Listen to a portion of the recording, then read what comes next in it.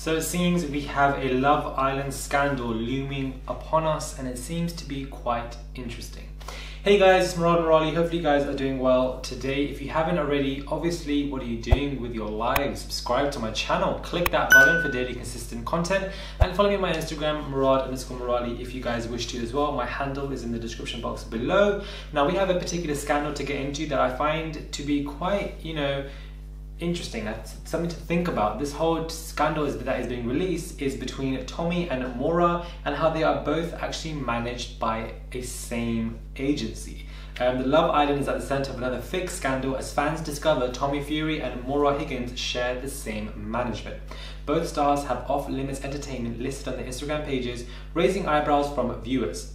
Tommy, he was 20, and Maura, was 28, with the Irish girl picking the boxing hunk and, you know, having as one of three dates. And obviously, we all know Tommy and Maura, who had this massive kind of altercation, massive kind of, you know, not really an altercation, kind of, you know, her, literally, she was so direct for Tommy more than anybody else in that villa. And one can question the fact that they are both managed by the same management. Perhaps she was told to go for him, which therefore is alluding to the fact that another fixed scandal for this particular show, that this particular season is coated with them, with Sharif, and now this particular one that is looming upon us and everybody's talking about it now, where, you know, one person wrote, Tommy Fury and Maura have the same management, check their Instas. Somebody says, what a surprise, completely set up weeks ago.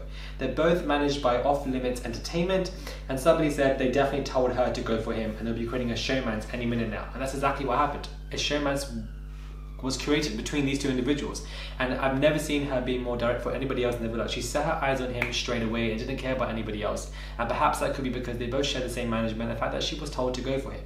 Now, do you think these two obviously knew they were in the same management prior to going into the show?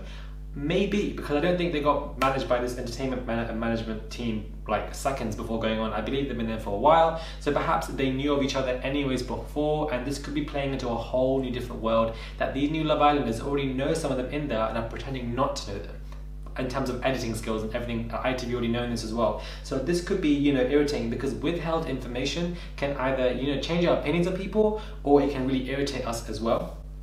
Obviously, um, this particular agency also represents Chris Hughes and winner Jack Fincham. So again, you know, they do obviously have a lot of Love Islanders, but the fact that they have both of these two prize even coming on the show is very interesting and annoying. Now, obviously, we all know what happened between these guys, and Tommy picked Molly-Mae and not her, and it's going to be irritating. And perhaps that wasn't planned out to be, and that was the natural part. But the fact that he was, she was probably told to go in there and couple up with him straight away because they're both in the same, um, you know, agency. They're both probably know each other beforehand. They're the same people, and they're very close under the same umbrella. It is very fishy, and it has got a lot of people talking because they do want to know what is going on. I thought I'd throw this video out for you guys that you guys could think about it, ponder on it. Do you think there's any scandal to this? Do you think there's any fake stuff, anything fishy, suspicious? Or do you guys think they're both just part of the same agency? It is what it is nothing that serious, nothing that deep, and we can just move along from it. Do let me know what you guys think about this particular situation. Do let me know if you, if you think there's any substance or depth to it, and do let me know if you guys will start a conversation because I read all your comments. Subscribe to my channel, click that button for daily consistent videos, and follow me on my Instagram, Murad underscore and I'll catch you guys soon for another video.